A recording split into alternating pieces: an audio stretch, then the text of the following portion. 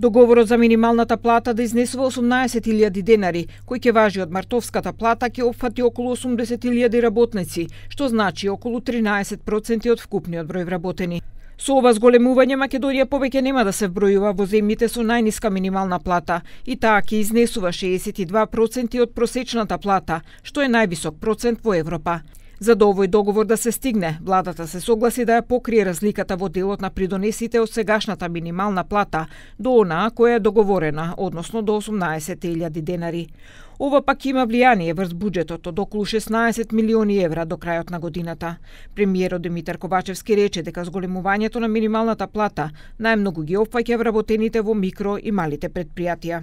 Постигнавме уште една важна согласност да ги промениме критериумите за методологијата за годишно согласување на минималната плата со 50% од годишниот раст на просечната плата и 50% од растот на трошоците за живот. Третиот критериум е новина, висината на минималната плата нема да може да биде пониска од 57% од просечната плата објавена според Државниот завод за статистика. Синдикалниот лидер Дарко Димовски во изјава за ТВ21 веднаш по постигнувањето договор во влада рече дека е усогласено и второто барање за скалесто покачување на другите плати.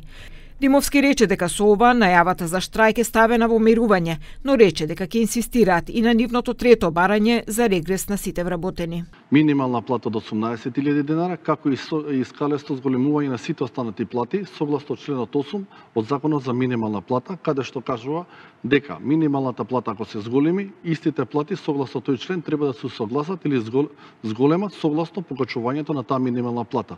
Но нашето трето прашање кој е регресот во јавниот сектор е се уште отворено и денеска на владата им соопштивме дека идеме понатаму и бараме регрес или К15 за целиот јавен сектор. Значи тука збореме образованието, здравството, војската, полицијата и, и здравствените работници и така натаму. Владанка Трајковска од Организацијата на работодавачи вели дека допрва ќе се прават проценки како ќе се одрази зголемувањето на минималната плата во работењето. Ова е нова одлука за нас со нови методологии и нов е, пристап.